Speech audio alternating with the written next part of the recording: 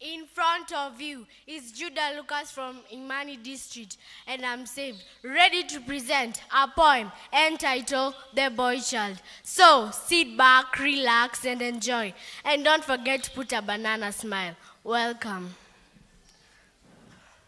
Sometimes he pity himself, though he puts a brave smile.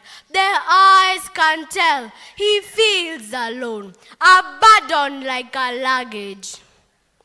All the focus sons to his sisters. Girls must be schooled.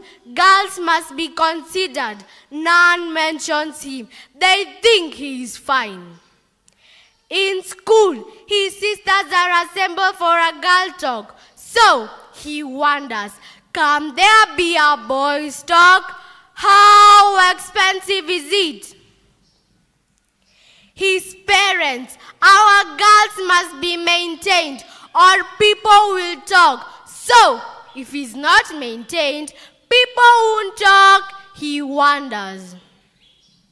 The government, girls must be empowered, her rights must be respected, girls must be protected. So, he wonders, doesn't he need empowerment? Doesn't he have rights? Doesn't he need protection? Church, this is the cry of the boy child. Thank you.